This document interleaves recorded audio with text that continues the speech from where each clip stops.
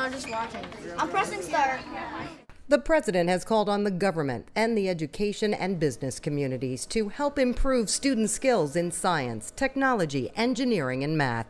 Hitachi has responded by providing its TM3000 electron microscope to schools across the country.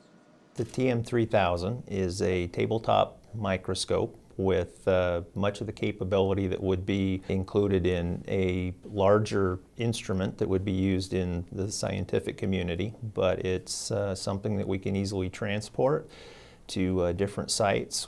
Traditional scanning electron microscopes are nearly room sized and require operators. But not only has Hitachi shrunk the TM3000 to tabletop size, it has made it very easy to use. Even young children can learn to operate it themselves. Kids are enthralled with looking at bugs and, and spiders and flies. So we could take, say, a, a fly and actually mount it on a sample and put it in the microscope, and we'll be able to see what the fly's eyes look like and, and how it's made by nature. And all these things you cannot see with the naked eye. So uh, it's pretty interesting for the kids.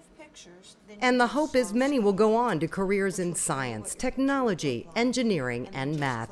Hitachi has also set up a website, inspirestemeducation.us, for educators to help in teaching nanoscience. Teachers can access lesson plans and other materials provided by the National Nanotechnology Infrastructure Network and other educators. It's been called the next technical revolution, that it will impact just about every aspect of our lives. Um, so it's, it's being used in defense, it's being used to clean our water, it's being used to create new um, and cleaner energy sources. Huge area will be medicine, um, targeted drug treatment, even targeted um, determination of diseases. So they expect it to impact every part of our lives, mainly because it's everywhere.